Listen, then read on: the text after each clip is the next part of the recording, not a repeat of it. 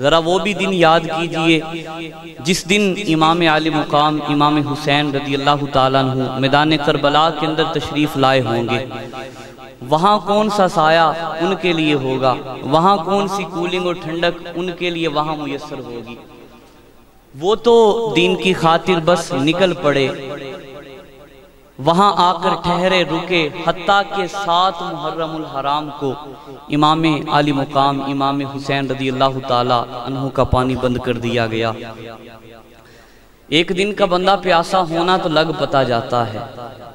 ایک دن کا بندہ پیاسا ہو تو لگ پتا جاتا ہے۔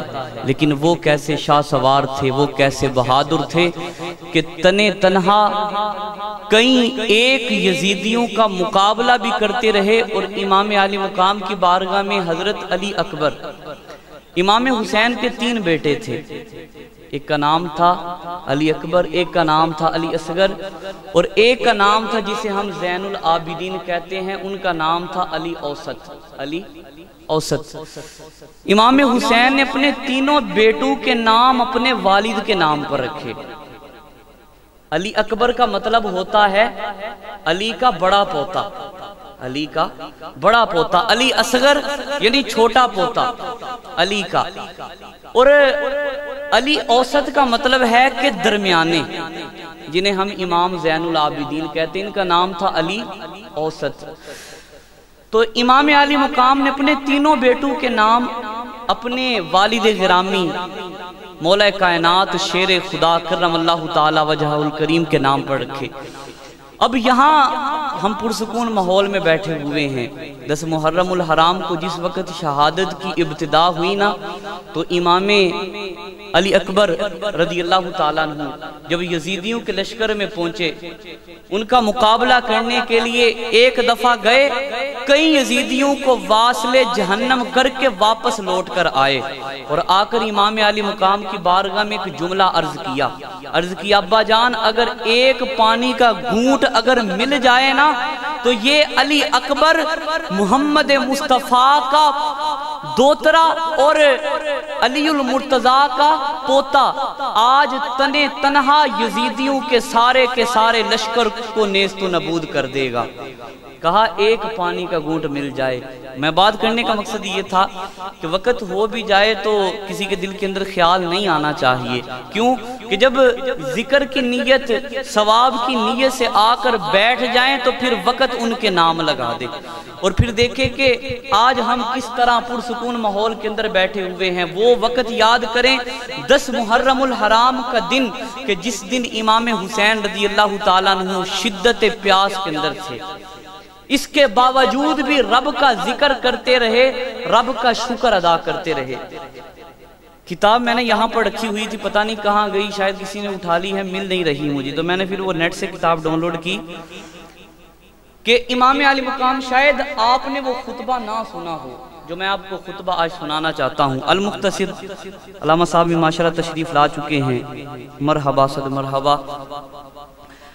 المختصر کر کے میں خطبہ تھوڑا سا بیان کرنا چاہتا ہوں کہ امام حسین رضی اللہ تعالیٰ عنہ جس وقت یزیدیوں کے لشکر کے سامنے آئے تو امام حسین رضی اللہ تعالیٰ عنہ نے ان یزیدیوں کے سامنے ایک خطبہ دیا اور خطبہ دے کر امام حسین رضی اللہ تعالیٰ عنہ بچے خموش ہو جائیں۔ امام حسین رضی اللہ تعالیٰ نے یزیدیوں کے لشکر کے سامنے خطبہ دیا اور خطبہ دے کر آپ ارشاد فرمانے لگے کہ اے لوگوں سنو، آج میں اس یزید کے مقابلے میں جو نکلا ہوں، یہ کس وجہ سے نکلا ہوں؟ امام علی مقام رضی اللہ تعالیٰ عنہ آپ نے یزیدیوں کے لشکر کے سامنے ایک پرجوش خطبہ دیا، جس میں آپ نے فرمایا لوگوں میرے نانا جان، کریم محبوب صلی اللہ علیہ وسلم نے ارشاد فرمایا کہ جو شخص کسی ایسے ظالم بادشاہ کو دیکھے، جو شخص کسی ایسے ظالم بادشاہ کو دیکھے جو ظلم کرتا ہو اللہ تعالیٰ کے حرام کردہ چیزوں کو حلال بناتا ہو۔ اللہ تعالیٰ کی حرام کردہ چیزوں کو حلال بناتا ہو۔ اور خدا کے عہد و پمان کو توڑتا ہو۔ اور رسول اللہ کی سنت کو سر عام چھوڑتا ہو۔ اور رسول اکرم صلی اللہ علیہ وسلم کی سنت کی سر عام مخالفت کرتا ہو۔ تو فرمایا کہ اللہ کے بندوں پر وہ حکمران، گناہ اور زیادتی کے ساتھ حکومت کرتا ہو۔ تو وہ شخص جو قدرت رکھتا ہے، طاقت رکھتا ہے۔ تو ایسا شخص جو قدرت رکھتا ہے، کولن اور فیلن یعنی زبان سے بھی اس بادشاہ کی مخالفت کرے جو بندہ طاقت رکھتا ہے، جو قوت سے، بازو کی طاقت سے۔ اس ظالم بادشاہ کے خلاف نکلنے کی طاقت رکھتا ہے تو پھر اس ظالم بادشاہ کے خلاف نکلے۔ تو امام حسین نے فرمایا کہ جو شخص ایسے ظالم بادشاہ کے خلاف نہیں نکلتا کہ جو اللہ تعالیٰ کی حرام کردہ چیزوں کو حلال جانتا ہے۔ جو اللہ تعالیٰ کے قرآن کی خلاف ورزی کرتا ہے، جو اللہ تعالیٰ کی حدود کو توڑتا ہے، جو حضور کی سنت کی مخالفت کرتا ہے۔ تو فرمایا، اگر کوئی شخص تم میں سے ایسے ظالم بادشاہ کو دیکھے، تو اگر وہ اس کی مخالفت میں نہیں نکلتا۔ تو حدیث پاک سنیے، جن جملوں کی وجہ سے امام علی مقام نے اپنا گربار قربان کر دیا۔ اپنا گربار قربان کر دیا۔ تو امام علی مقام نے فرمایا، جو پھر بندہ ایسے ظالم بادشاہ کے خلاف نہیں نکلے گا، اللہ تعالیٰ پر حق پہنچتا ہے کہ اللہ تعالیٰ اس بندے کو اور اس ظالم بادشاہ کو جہنم کے عذاب میں ڈال دے۔ دوزخ کے اندر ڈال دے۔ تو فرمایا، یہ وہ حدیث پاک ہے جو حدیث پاک مجھے اس یزید کے خلاف نکلنے پر راغب کرتی ہے۔ جس محبوب کے فرمان کی وجہ سے میں اس یزید کے خلاف نکلا۔ اور پھر امام علی مقام نے خطبہ دیتے ہوئے یہ بھی کہا کہ اے یزیدیو تم میرے سامنے ہزاروں کے لشکر کے اندر کھڑے ہو۔ اب مجھے دیکھو میں کون ہوں۔ آپ نے دو جملے کہے۔ کہا مجھے دیکھو میں کون ہوں۔ میں علی کا بیٹا حسین ہوں میں فاطمہ کا بیٹا حسین ہوں۔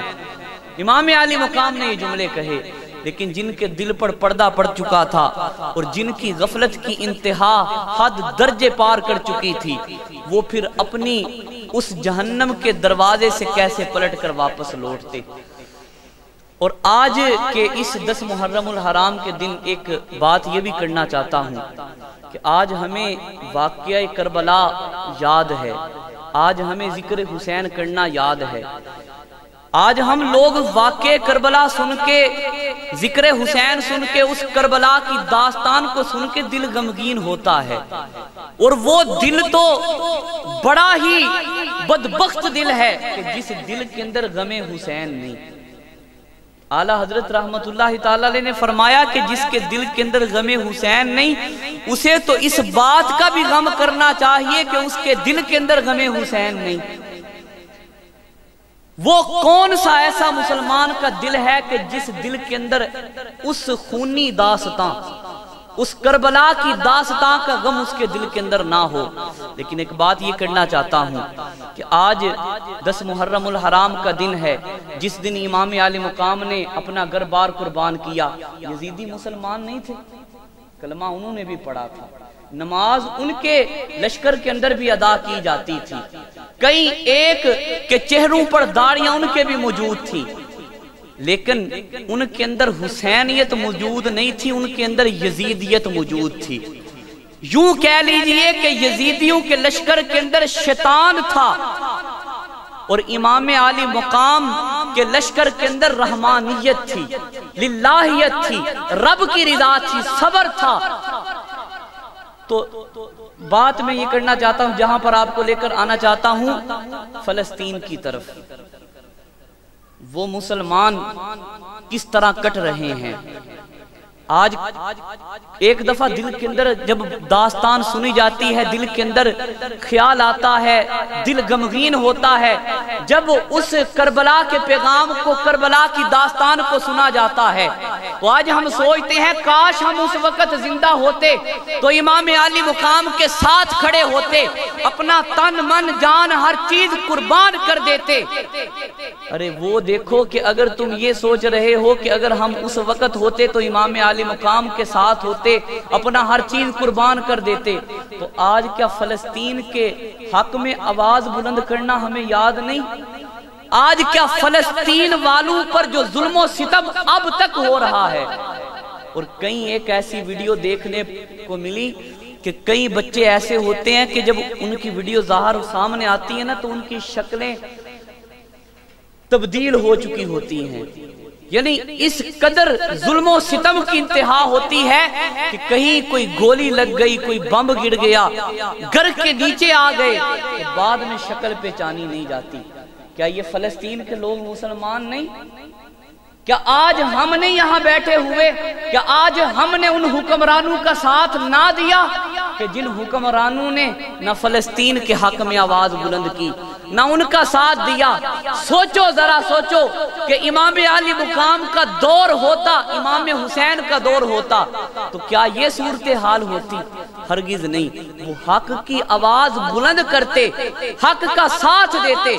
ہم نام حسین لینے والے ہیں، ہم ذکر حسین کرنے والے ہیں۔ لیکن یہ بھی نیت کیجیے کہ ایسے حکمران کا ساتھ دیں، ایسے بادشاہ کا ساتھ دیں، ایسے بندے کا ساتھ دیں جو حق کی آواز بلند کرنے والا ہو۔ جو حق کی آواز بلند کرنے والا ہو۔ تو آج خالی ذکر کربلا نہ سنے آج خالی کربلا کی داستان نہ سنے آج کربلا کی داستان سنے اور اس کے ساتھ ساتھ اپنے ذہن کے اندر ذرا وہ فلسطین کا منظر بھی لے کر آئیں۔ ذرا وہ فلسطین کا منظر بھی اپنے سامنے لے کر آئیں کہ کیسا کیسا ظلم و ستم دردناک ان پر کیا جا رہا ہے۔ لیکن بتاؤ کتنی دیر سے ظلم و ستم ہو رہا ہے؟ کیا حضور کا دور ہوتا اور حضور کے امتی اس طرح کٹ رہے ہوتے؟ بچوں پر اس طرح بے دردی کے ساتھ ظلم و ستم کیا جا رہا ہوتا؟ تو بتاؤ کیا حضور اگر ظاہری زندگی میں موجود ہوتے، تو کیا حضور یہ چیز برداشت کرتے ہرگز نہیں؟ اگر خلافہ ہوتے تو برداشت کرتے ہرگز نہیں۔ آج جن کا ذکر کرنے کے لیے بیٹھے ہیں، آج اگر وہ بظاہری، ظاہری زندگی میں حیات ہوتے، تو آج وہ اس چیز کے خلاف کیا حق کی آواز بلند نہ کرتے کرتے ضرور۔ تو نیت کیجیے۔ یہ اپنے ملک کی اب اس کسی کے تبدیلی کہنے سے تبدیلی نہیں آئے گی، کسی کی نالیاں روڈ بنوانے سے کچھ نہیں بنے گا۔ جب تک ہم سچے بندے کا ساتھ نہیں دیں گے اور خالی زبان سے لبیک یا رسول اللہ نہ کہیں گے، بلکہ دل سے بھی لبیک یا رسول اللہ کہیں گے۔ اور جب مہر لگانے کی باری آئے گی، اس وقت بھی لبیک یا رسول اللہ پر جب مہر لگائیں گے، تو ان یہودی کتوں کی کیا مجال کہ یہ کسی مسلمان پر ظلم ستم کر سکیں۔ ایسے بیت المقدس کو پمال کر سکیں اس کا عدب اپنے ملحوظ خاطر نہ رکھ سکیں المختصر، یزید نے جانتے ہیں اور کیا کام کیا تھا۔ یزید نے یہ کام کیا تھا کہ جب میدان کربلا کے اندر خاندان اہل بیت کے فراد کو شہید کیا، اس کے بعد وہ اس ظلم پر نہ رکا۔ پھر اس یزید نے اپنے لشکر کو بیجا مدینے میں گیا۔ مدینہ طیبہ جا کر کموں پیش دس ہزار افراد کو، جن میں صحابہ بھی تھے، تابعین بھی تھے، ان کو شہید کیا گیا۔ ان کو شہید کیا گیا. پھر آگے اس سے بات لے کر جانا چاہتا ہوں کہ پھر اس کے بعد امام علی مقام کو شہید کیا. مدینہ منورہ میں مسجد نبوی کے اندر گوڑے باندھے گئے. وہاں گوڑوں نے لید کیا پیشاب کیا. مسجد کی حرمت کو پمال کیا گیا. وہ مسجد جس مسجد کے اندر امام الانبیاء نماز پڑھاتے تھے. وہ مسجد جہاں خطبہ کوئی عام نہیں دیتے تھے، خطبہ دیتے تھے تو امام امام الانبیاء محبوب خدا خطبہ دیتے تھے۔ اس مسجد کی حرمت کو پمال یزید کے لشکر نے کیا۔ یہاں پر ظلم نہ رکا۔ پھر اس کے بعد ظلم کی انتہا ہوئی کہ یہی یزیدی لشکر چلتا چلتا مکہ مکرمہ میں بھی آیا۔ وہاں خانہ کعبہ کے غلاف کو جلایا گیا۔ اس کو آگ لگائی گئی۔ خانہ کعبہ اللہ کا گھر ہے۔ وہاں اس کو آگ لگائی گئی۔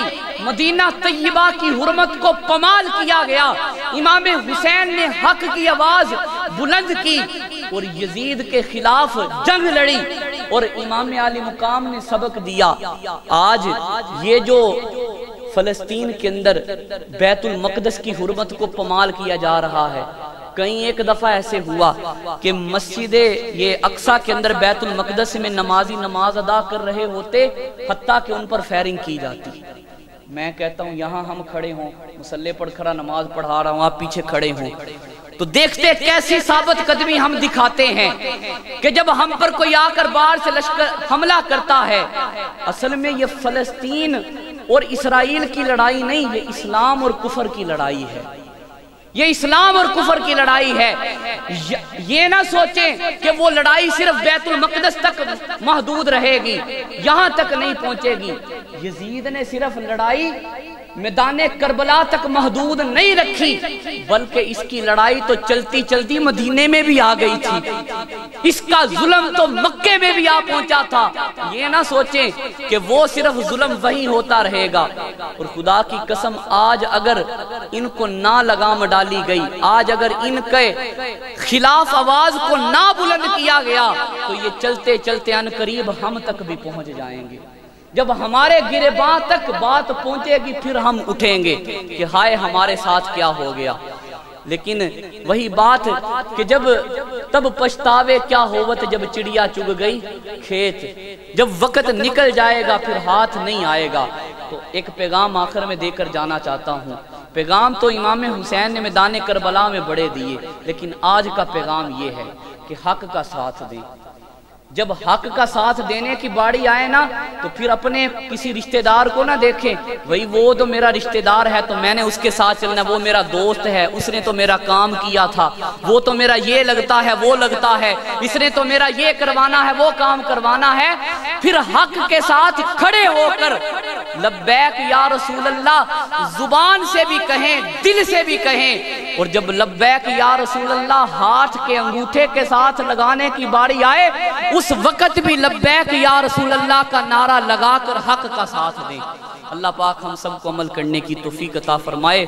قتل حسین اصل میں مر گئے یزید ہیں۔ اسلام زندہ ہوتا ہے ہر کربلا کے۔ بعد کربلا کا میدان لگانا ہوگا، پھر اسلام کا جنڈا بلند ہوگا۔ قتل حسین اصل میں مر گئے یزید ہیں۔ اسلام زندہ ہوتا ہے۔ ہر کربلا کے بعد، اور افضل ہے کل جہان میں گرانہ حسین کا۔ افضل ہے کل جہان میں گرانہ حسین کا۔ نبیوں کا تاجدار ہے نانا حسین کا۔ اور سنو، ایک پل کی تھی بس حکومت یزید کی۔ صدیاں حسین کی، زمانہ حسین کا۔ اور اعلیٰ حضرت رحمت اللہ تعالی کے بائی نے کیا خوب کہا، بے ادب گستاخ فرقے کو سنا دے اے حسن، یوں بیاں کرتے ہیں سنی داستان اہل بیت۔ یوں بیاں کرتے ہیں سنی داستان اہل بیت۔ اللہ پاک امام علی مقام کا صدقہ، اللہ ہم گناہگاروں کی بے حساب مغفرت فرمائے جو پیغام پہنچایا۔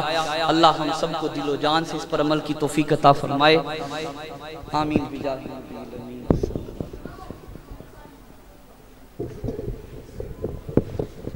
جزاک اللہ نعرہ تکبیر، نعرہ رسالت، نعرہ حیدری، تاجدار ختم نبوت، تاجدار ختم نبوت، حسینیت حسینیت، بلا تخیر و تمہید ملتمس و عالم نبیل فاضل جلیل حضرت علامہ مولانا علی رضا قادری صاحب، آپ تشریف لاتے ہیں۔ اور اپنے بیان سے ہمارے قلوب کو منور فرماتے ہیں۔ نعرہ تکبیر، نعرہ رسالت، نعرہ حیدری نعرہ حیدری، تاجدار ختم نبوت